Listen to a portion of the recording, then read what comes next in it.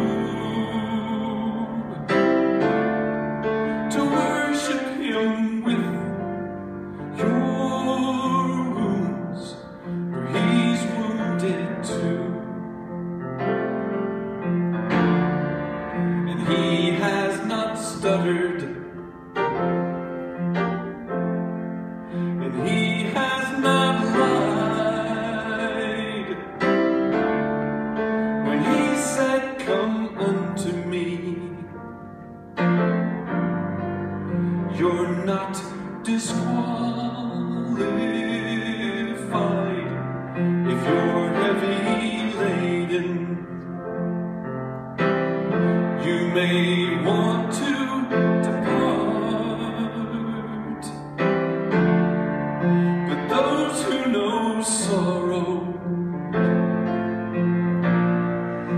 They're closest to his heart. Come lift up, come lift up your sorrow and offer your pain. And offer your pain. Come make a sacrifice.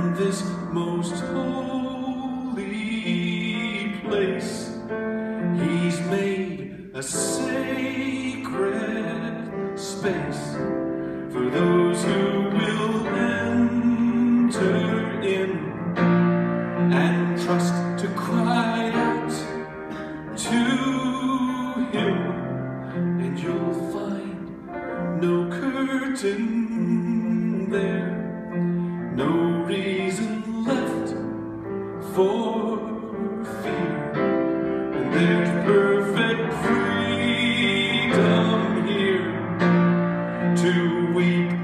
free. Um.